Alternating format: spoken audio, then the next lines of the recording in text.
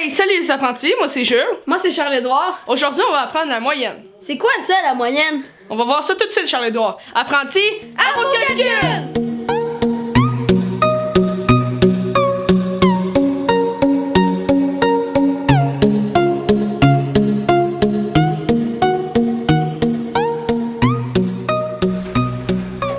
La moyenne arithmétique.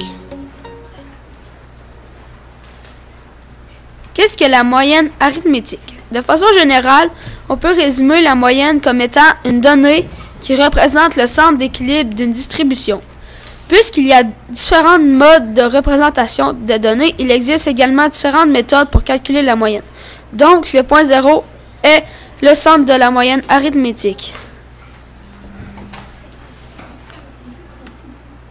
Le symbole de la moyenne arithmétique est x avec une barre au-dessus. La formule pour trouver la moyenne, la somme des valeurs observées divisée par le nombre de valeurs observées. Exemple, en 4 jours, il est tombé 4 mm de pluie lundi, 8 mm mardi, 1 mm mercredi et 5 mm jeudi. Quelle est la moyenne? La somme des valeurs observées 4 mm plus 8 mm plus 1 mm plus 5 mm égale 18 mm divisé par le nombre de valeurs observées 4 jours. Donc, 18 mm divisé par 4 jours est égal à 4,5 mm de moyenne observée par jour.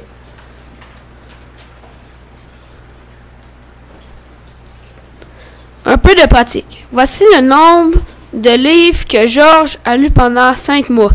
Tu dois trouver la moyenne arithmétique.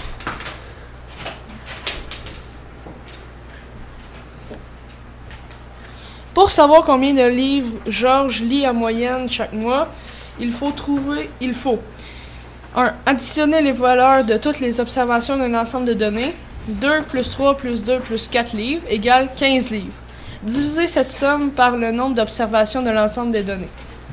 15 livres divisé par 5 mois égale 3 livres par mois. En moyenne. Ah, merci Jules. Maintenant, je sais mieux c'est quoi la moyenne. Tu vois, c'est pas si difficile que ça. On se retrouve dans une prochaine capsule. À vos calculs!